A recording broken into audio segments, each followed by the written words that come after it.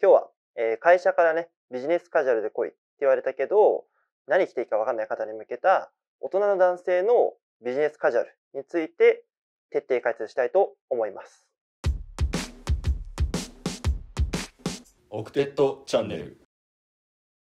えーどうもこんにちは。オクテットメンズアクションチャンネルのムンです。今日は、まあ、冒頭でもお話した通りなんですけど、えー大人のね、ビジネスカジュアルというものについて、まあ、徹底的にね、深掘っていこうかなと思ってます。はい。ということで、まあ、ビジネスカジュアルっていうね、言葉が、まあ、昨今は結構聞くようになったと思うんですよね。まあ、スーツみたいなスタイルから、そのちょっと流れでクールビズっていうのが、まあ、結構言われるようになってきて、で、最近は結構クールビズよりもビジネスカジュアルっていう言葉の方が、まあ、耳にする方がね、増えたんじゃないかなと思います。はい。で、このビジネスカジュアルっていうものを、まあ、いまいちね、こう、分かってないと言いますか、やっぱりこう正しく理解してないとなかなかね、するの難しいんじゃないかなと思いますので、今日はね、まあ、実際にあの今の会社さんってほとんどがやっぱりこうちょっとカジュアル化しているので、まあ、ガチガチのスーツよりもビジネスカジュアルっていうシーンのが格段にこれから増えていくと思うんですよね。なので、まあ、そのビジネスカジュアルを正しくね、着こなすための、まあ、紹介だったりとか、それからね、着こなしのポイントを、ご紹介していこうかなと思います。え早速、ご紹介していこうかなと思うんですけど、その前に、これやっちゃうとまずいっていうね、スタイルからご紹介していこうかなと思います。はい。それがね、もう今すごく簡単にできるんですけど、このネクタイを外したスタイルですね。えちょっと外してみますね。まあ僕今日はあれスーツでね、最初登場したんですけど、まあそのスーツのスタイルにえしっかりとね、タイドアップをしていたんですが、そのネクタイを外して、まあスーツにシャツっていうスタイルですね。はい。まあビジネスカジュアルっていうと、確かにね、こうネクタイを外せば、まあ、もう少しね、カジュアルになるんじゃないかなって思ってる方もね、いらっしゃるかもしれないですけど、個人的には、やっぱりこのスーツにシャツで、ただネクタイを取りましたよみたいなスタイルは、あまりこう、かっこよくもないですし、こう、ただね、ネクタイをただ忘れちゃっただけかなみたいな風に見えちゃうので、これだとスタイルとしては、すごくね、もったいないのかなと思います。なので、まあ、確かにカジュアルなんですけど、これがイコールビジネスカジュアルにはならないっていうことですね。まあ、この辺は結構、まあ、注意点といいますか、意外とね、やっぱり盲点でやっちゃってる方も結構多いんじゃないかなと思うんですけど、やっぱりスーツっていうのは本来タイドアップして着るのがやっぱり一番かっこいいと思うので、ネクタイをしていても、まあそれをただ外すだけでちょっとカジュアルになるっていう風にはならないので、まあやっぱりね、スーツはあくまでタイドアップするっていうようなね、イメージを持っていただいて、シャツを着るだけっていうのはやめていただきたいなと思います。はい、えーそれではね、まあ、今からちょっとこうアイテムも紹介しつつ全部ねコロコロと着替えていこうかなと思うので、まあ、ビジネスカジュアルにも本当にこういろんな幅があるんですけど今日はまあちょっとずつねこうカジュアルダウンするような感じで着ていこうかなと思います。それではね早速着替えていきます、えーこんな感じでね着替えてみました。はい。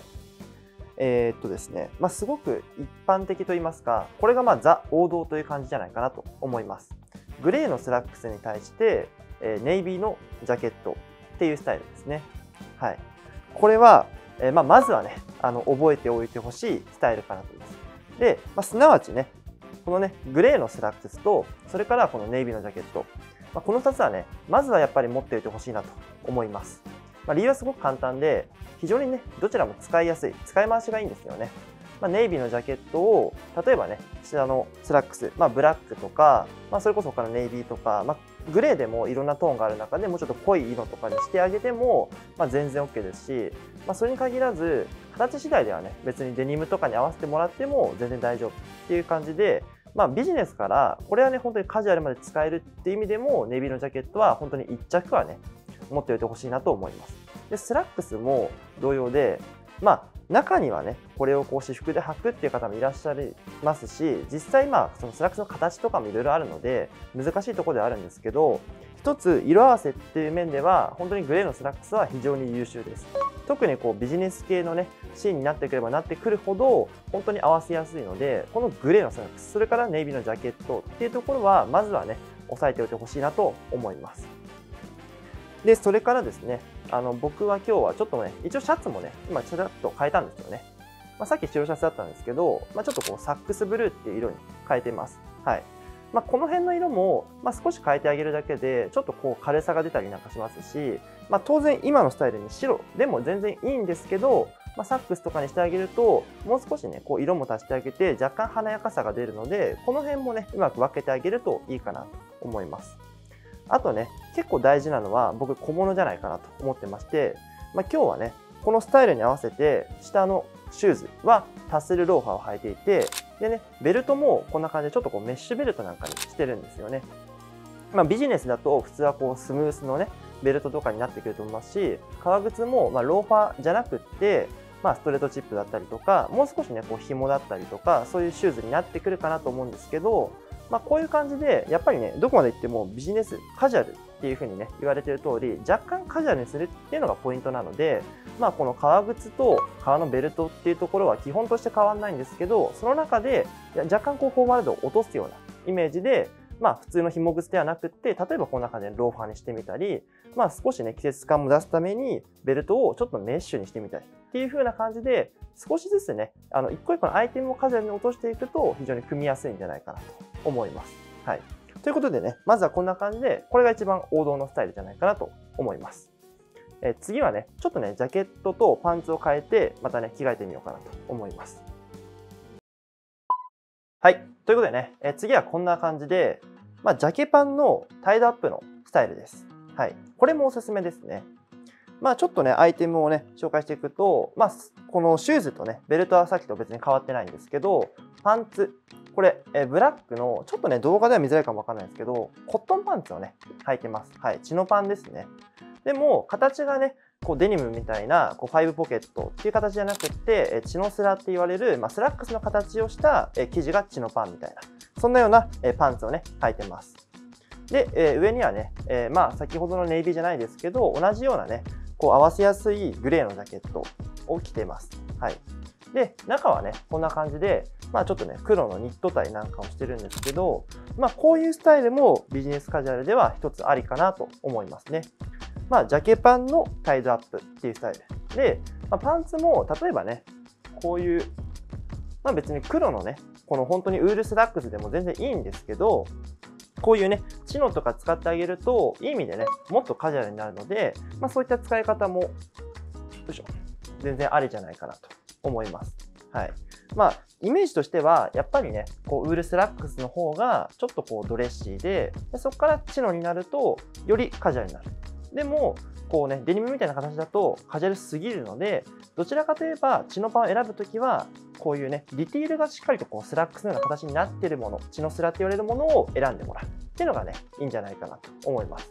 でそれから、まあ、タイドアップなんかもね、まあ、こう普段してるようなネクタイでもいいんですけど、まあ、ここまでやるなら、どちらかといえばね、今日みたいにちょっとこうニットタイとかにしてみたり、若干こうね、こう表情のある気持ちちょっとカジュアルなネクタイとかも合わせてもらうと、よりね、こう完成度高まってくるので、そういった合わせ方もね、いいんじゃないかなと思います。はい。まあ、それからね、このグレーのジャケット。まあ、ネイビーと同じぐらい僕はね、合わせやすい、使いやすいのかなと思ってますので、まあ、ネイビーを集めたら、次はね、このグレーもね、ゲットしてもらえると、ほとんどカバーできるのかなと思いますので、まあ、この辺もね、一つね、参考にしてもらえるといいかなと思います。えーそれではね、次は、最近ね、こう人気のセットアップをね、ちょっと着ていこうかなと思います。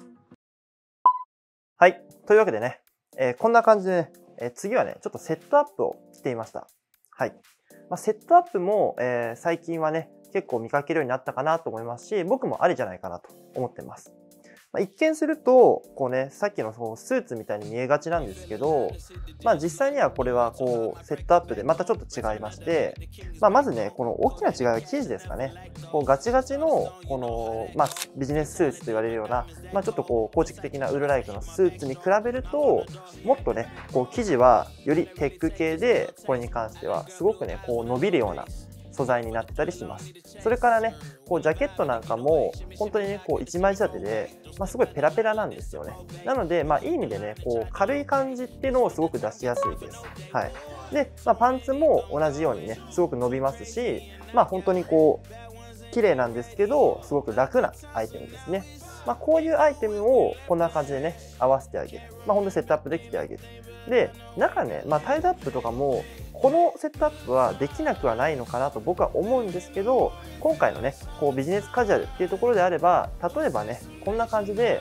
ニットのね、こうポロシャツを着てあげるっていうのもいいんじゃないかなと思います。はい。まあ、襟付きのこういうポロシャツをね、シャツの代わりに着てあげて、その上からこんな感じでセットアップで決めたスタイルっていう感じですね。足元はやっぱり同様にローファーとかね、そういったものがよろしいんじゃないかなと思います。まあ、こういうスタイルもかなりね、あの、カジュアルですよね。まあ、イメージ的には、やっぱりね、さっきのこうジャケパンとかっていうのは、まあ、一見するとね、こっちはちょっとスーツっぽさあって、まあ、かしこまって見えるかもわかんないんですけど、やっぱりこの生地感だったりとか、アイテムのこの一個一個のこのドレッシーさみたいなところが、さっきのこうネイビーとグレーのスラックスだったりとか、グレーのジャケットに黒のパンツみたいな方があるので、こっちはね、もっと砕けたスタイルかなと思います。まあ、この辺まで行ってくるとビジネスカジュアルといえども少しねこうお仕事を選ぶかもわかんないんですけども OK な方はぜひね取り入れていただきたいなと思います。すごくねかっこいいと思います。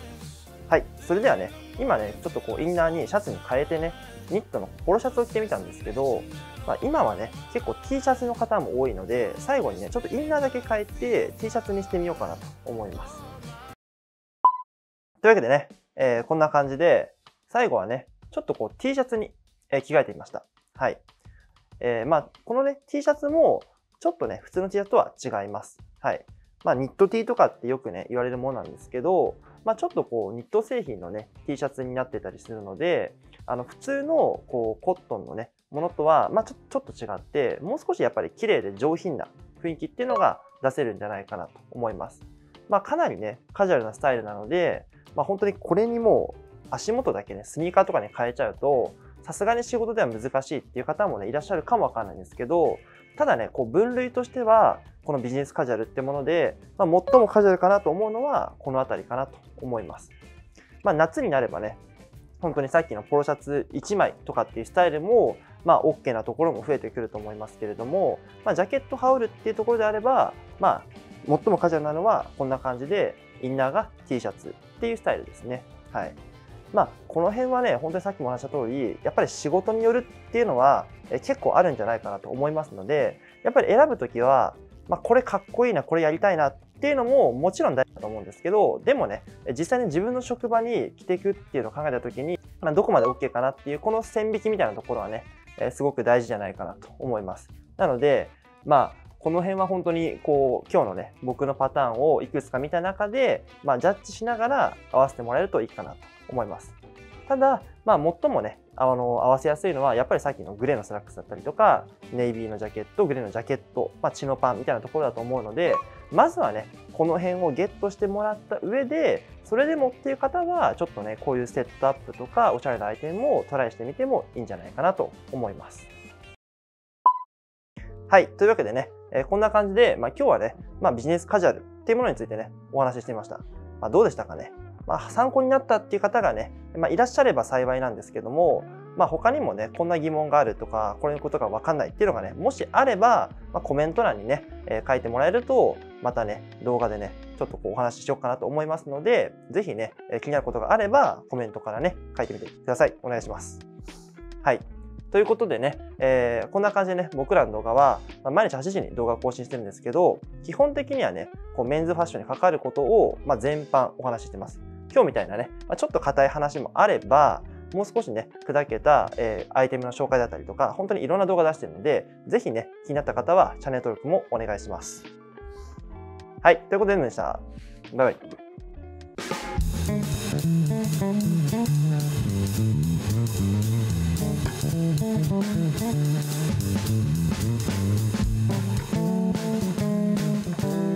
you.